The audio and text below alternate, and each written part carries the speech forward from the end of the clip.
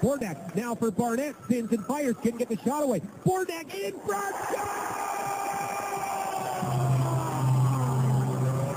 Behind the goal. Taken out of the play. Puck's in behind the net. Colton Heffley set up in front. Now a wrist shot. Puck's in skate. Loose puck backhand. Rebound. They score. Tyler Hanson.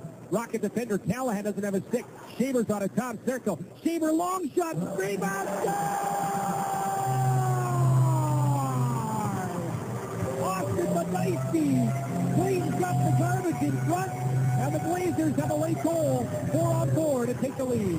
McColgan now waiting. Down low pass side of the goal in front. Oh, they score. Looked like the shot might have been going wide, but tic-tac-toe in front.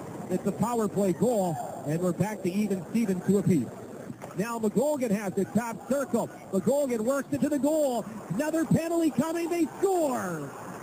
McColgan, Nigan was getting a penalty here, and he's still going to get one here by the looks of things. Now Callahan. Callahan, rink wide pass. Shot, they score. And it's Shane McColgan on the rink wide feed, and the Rockets have struck for three power play goals here in the third, and now lead 4-2. Puck chipped ahead. Bulmer has the empty net, and Bulmer's going to put it away.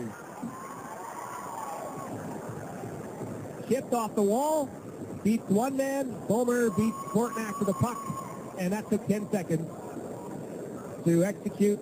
And Bulmer with the empty netter. We'll make it 5-2 here.